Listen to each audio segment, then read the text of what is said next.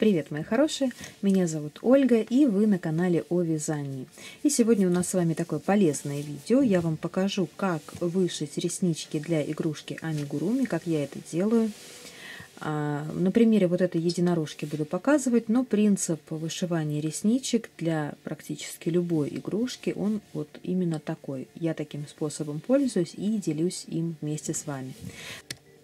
Вот такую единорожку я вяжу в рамках марафона. И э, после окончания марафона мастер-класс станет платным. И для вас в описании к видео я оставлю ссылочку, по которой можно пройти и купить мастер-класс по созданию такой игрушки, если вы хотите.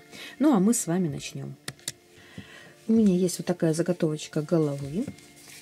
И сейчас на примере этой головы я вам покажу, как я вышиваю реснички для девочки. Для этого я беру или ниточку мулине черного цвета, или ирис черный, или в последнее время я достаточно часто пользуюсь. Это у меня пряжа Alize Cotton Gold. Я ее отрезаю нужной мне длины и разделяю на несколько ниточек. У нас эта пряжа состоит из четырех нитей. Вот они. И одну из этих ниточек я просто вытаскиваю, точно так же, как ниточку мулине. Единственное, что она от мулине отличается потолще просто. Ну, такой толщины мне вполне достаточно. Можно заменить обычными швейными ниточками в несколько сложений, 3-4 сложения. Тут уже зависит от того, насколько толстенько вы хотите, чтобы были ваши реснички.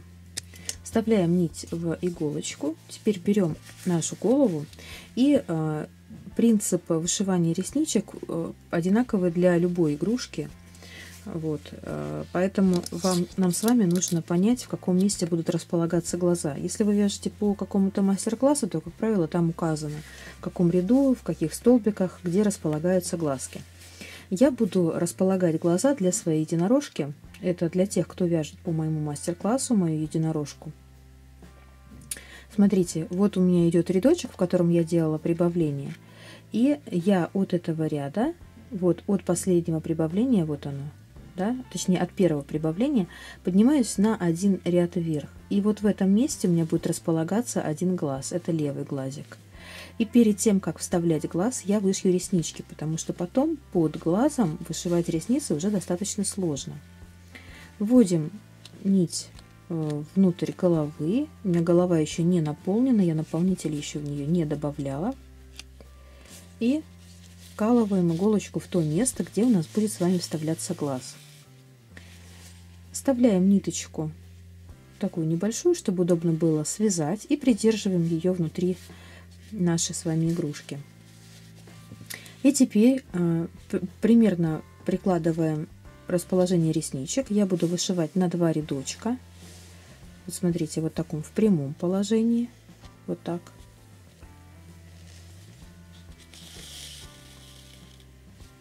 Сильно здесь ниточку не тянем. Затем поднимусь наверх на буквально один столбик. Также в этом же ряду, то есть на два ряда вверх.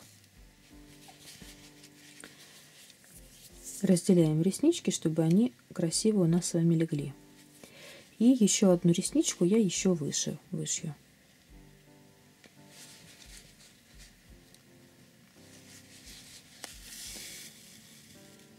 Принципе, в таком положении можно оставить. Будет тоже достаточно симпатично смотреться.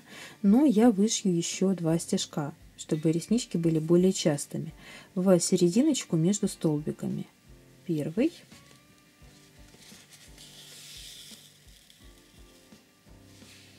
При этом аккуратно прокладываем, чтобы у нас э, ресничка заняла свое место. И второй. Выводим в серединку столбика и на изнаночную сторону.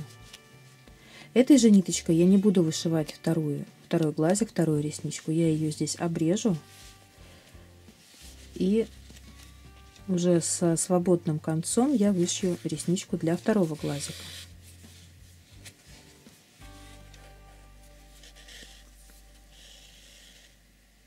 видите, вот так вот это выглядит. То есть они такие более частые и больше похожи на такие не совсем прям кукольные реснички, а такие больше на натуральные похожи. Обрезаем нить. Пока что я ничего не связываю. Если не уверены в положении ресниц, то можно сейчас просто вставить глазик, посмотреть, как это выглядит вместе с глазом. Итак, а, с другой стороны, опять-таки по моей единорожке, я нахожу последнее прибавление. Вот оно. От него вставляю, видите, вот иголочку, и наверху от этого последнего столбика прибавления опять идет прибавление. И я верхнюю часть вот в самый уголочек этого прибавления буду вставлять второй глазик. Если вы вяжете по моей схеме, то там даже написано, а, какие, каких, между какими столбиками мы это делаем.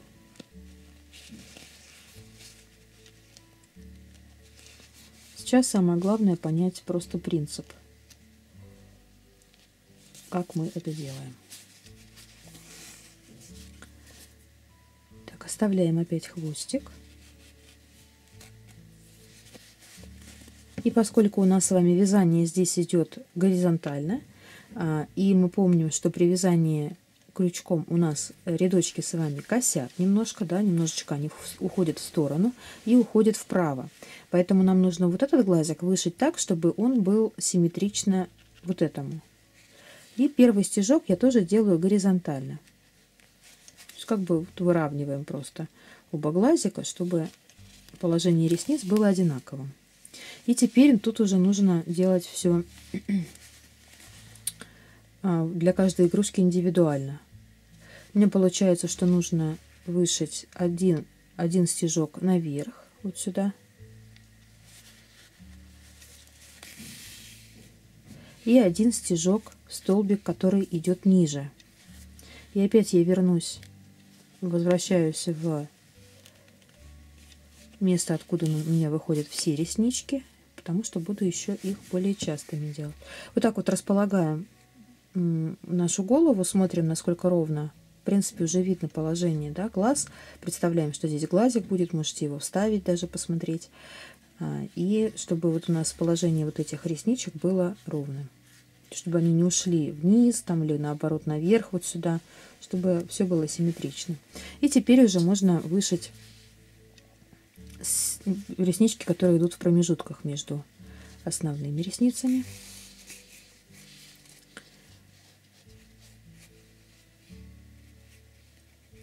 Также сразу придаем им положение.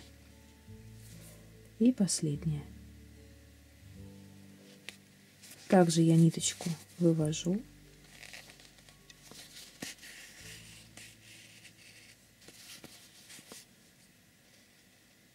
Вот так.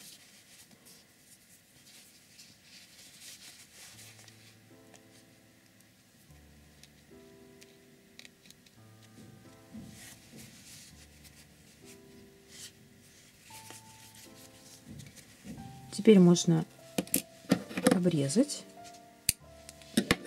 Затем я вставляю глаза на безопасном креплении, фиксирую их с изнаночной стороны и только потом делаю узелочек на пряже. И хвостики лишние обрезаю. Это я сделаю за кадром. Вот таким способом я пользуюсь для вышивки своих ресничек. Как видите, я уже вставила глазки и добавила наполнитель внутрь головы. В следующем видео я вам покажу, как я стягиваю отверстие для, для головы игрушки, когда у нас с вами идет горизонтальная э, горизонтальная форма головы. И чтобы красиво стянуть отверстие, я это делаю на 12 петельках. Можно делать на 8, можно делать на 6, здесь уже как вам удобно. Переходите в следующее видео, ссылочку на него я обязательно для вас оставлю. И смотрите, если не знаете, как стягивается отверстие. Ну а на этом сегодня видео мастер-класс заканчивается. Я надеюсь, что вам здесь было все понятно, все понравилось. Если нравятся такие короткие полезные видео, ставьте пальчики вверх, делитесь с друзьями в социальных сетях, подписывайтесь на мой канал. И всем спасибо и пока-пока. До новых встреч!